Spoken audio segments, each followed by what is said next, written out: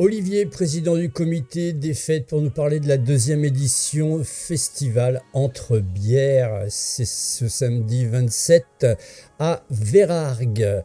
Entre vignes. Alors, deuxième édition, ça veut dire quoi? Ça veut dire que la première a été un grand succès? Ça veut dire que la première a été au-delà de nos espérances, en effet. Euh, on a lancé un, pavé dans la mare qui nous tenait à cœur depuis quelques années.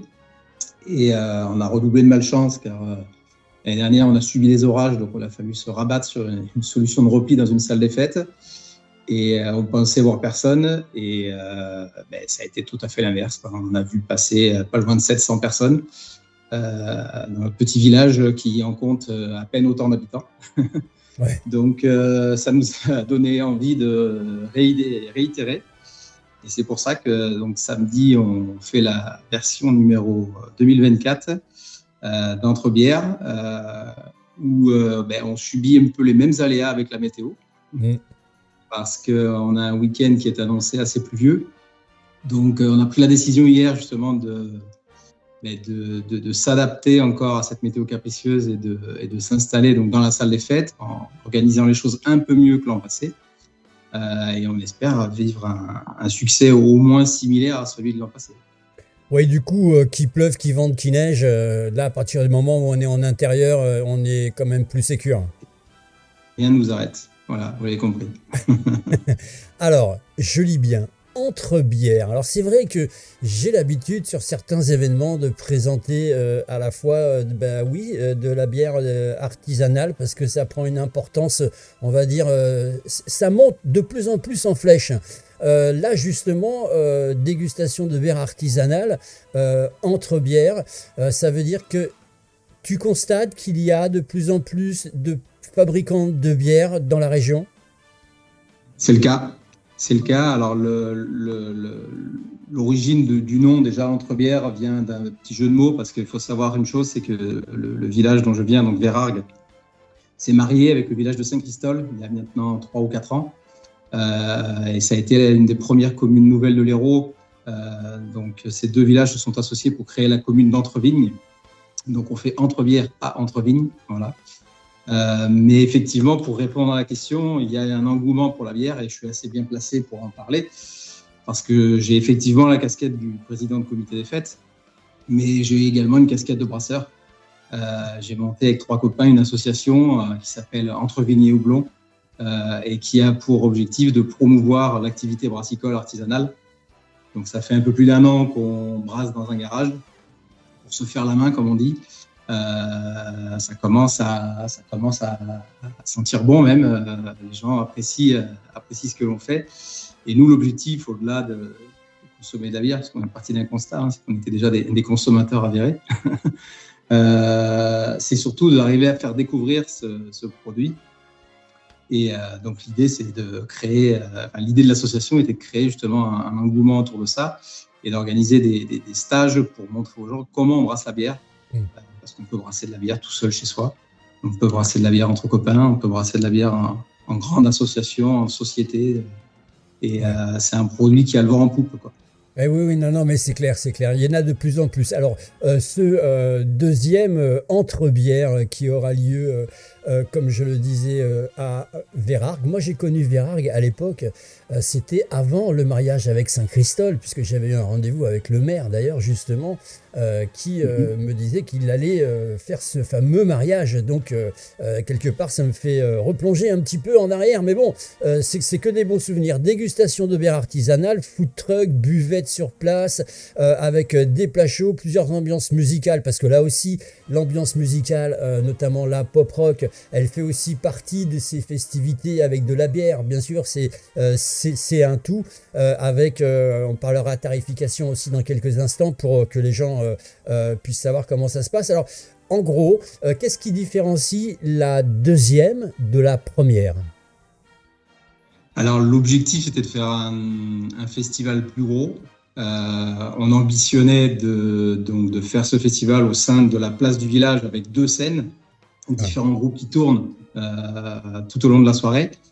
Malheureusement, euh, la météo nous contraint de revenir dans un cadre plus restrictif au niveau de la salle des fêtes. Donc, euh, on va revenir à une formule similaire un peu à l'an passé, avec une seule scène. Par contre, l'année dernière, on avait trois groupes. Là, on aura cinq groupes qui vont tourner toute la soirée.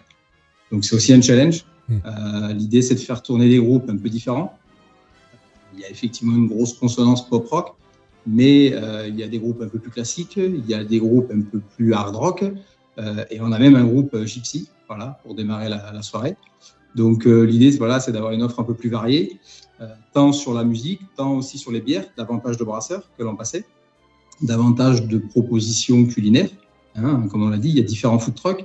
Nous, au sein de l'association Comité des Fêtes, on, tient une buvette parce qu'il n'y a pas que des amateurs de bière, il y en a qui sont attachés à leur petit verre de vin.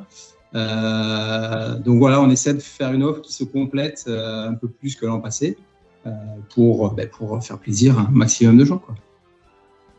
On l'a bien compris, alors c'est quelque chose qu'on peut partager en famille. Il y a combien de stands à peu près que, qui vont venir s'installer?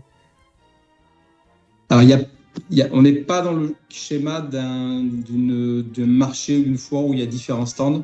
Euh, c'est vraiment une scène musicale et de la restauration. C'est euh, un peu dans l'esprit de ce qui se fait chez nos voisins à Busignard euh, en, septembre, où ils ont lancé Busibière il y a pas mal d'années. c'est vraiment dans l'esprit d'un festival plutôt que dans l'esprit d'un marché, on va dire. D'accord. donc on n'a pas encore ouvert voilà, des activités diverses. Mais c'est les pistes qui sont effectivement à la réflexion pour les années à venir, parce que l'idée, c'est d'inscrire cet événement dans le marbre euh, sur plusieurs années. D'accord, mais il y aura quand même euh, des euh, brasseurs locaux qui seront présents, qui vont expliquer, comme tu l'as dit, j'étais un petit peu étonné d'ailleurs que tu aies dit ça, je ne savais pas qu'on pouvait le faire, qu'on pouvait s'initier à la brasserie même chez soi. ça peut, le fait qu'il y ait ces rencontres-là, ça peut donner envie à d'autres personnes de se lancer dans cette aventure? Bien sûr, bien sûr, c'est un peu l'idée voilà, d'expliquer de, que ben, faire de la bière, ça reste assez accessible, assez simple ça demande de la rigueur, ça demande de l'hygiène. Euh, il y a des processus à suivre, mais on peut brasser de la bière chez soi avec une cocotte minute. Euh, des moyens somme toute un peu limités. Moi, j'ai commencé avec un kit euh, que ma femme m'a offert à un Noël. vous avez une bonbonne qui fait 5 litres et vous pouvez faire de la bière à la maison. C'est jamais que de la cuisine finalement. un petit peu de chimie quand même, mais surtout ah beaucoup d'hygiène et, de la rigueur. Ah, ça doit être ça doit être vraiment très très sympa en tout cas euh, de savoir déjà qu'il y a des kits comme ça qui existent. Là aussi c'est euh, c'est une originalité. Moi je savais pas, je l'apprends euh, et pourquoi pas, tiens, mm. j'en achèterai un jour pour m'initier parce que ça me paraît très très intéressant. On va parler bien sûr du lieu, on l'a bien dit, donc salle des fêtes, donc là on craint plus rien. Verargues, ça. se situe où exactement si les gens se disent bah tiens moi j'aimerais bien y aller parce que j'aime bien la bière. Ah. Alors Vérargues, pour ceux qui ne connaissent pas, ça reste quand même le village le plus chaud de France. Euh, le village le plus chaud de France. Euh, donc il a sa petite renommée. On a enregistré le, record officiel de chaleur. Euh, j'ai mangé la date exacte quand on a fait la fête votive en 2022 si je ne me trompe pas, où on a enregistré 46 degrés sous abri, euh, pendant la fête votive, ce qui nous avait valu bah, certaines contraintes malheureusement. Ah oui. Euh, donc voilà, Vérargues, c'est un village qui se situe euh, à la sortie d'autoroute numéro 27 de l'autoroute A9. Ouais. on prend la direction de Sommières et le premier village que l'on rencontre, c'est Vérargues. vous avez les indications depuis la, sortie d'autoroute. donc encore une fois, on dit Vérargues. Vérargues aujourd'hui, c'est marié avec Saint-Christophe, donc on voit sur les panneaux commune d'entre vignes, village de Vérargues, village historique de Vérargues en effet. Et, donc, euh, et donc, à la salle des fêtes, euh, à partir de samedi, 18h30. Voilà, donc là, pour le trouver, il n'y a aucun euh, souci. C'est à la place des fêtes, 18h30. plusieurs ambiances, on l'a dit. Lorsqu'on organise un tel événement, on a besoin de faire appel à des partenaires publics, privés. Alors, on s'appuie dans nos petits villages déjà avec la municipalité, qui est un atout chez nous car elle répond toujours présent. Euh, pas forcément que d'un point de vue financier, hein, mais euh, avec la, sueur de, des bras des gens qui les composent, hein, que ce soit le maire, les, ses conseillers ou même les agents municipaux hein, qui, œuvrent, qui œuvrent avec nous. Euh, et effectivement, l'idée, ce serait d'arriver à tendre la main vers des prestataires privés ben, pour faire en sorte que l'événement puisse prendre une autre dimension.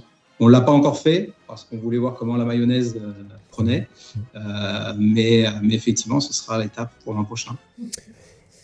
On suivra bien sûr tout ça parce que ça nous ferait, euh, nous, un grand plaisir. Je vous rappelle que c'est l'événement qu'on vous conseille pour ce week-end, samedi 27, deuxième édition entre bières avec euh, cinq concerts. C'est plutôt même tourné sur un espèce de festival, en tout cas à la rencontre euh, de ces gens qui font ces nouveaux brasseurs, on va dire ça comme ça, qui vont bien sûr vous accueillir à bras ouverts. On va juste la tarification, parce que là aussi, ça fait partie hein, euh, euh, euh, de l'événement à part entière.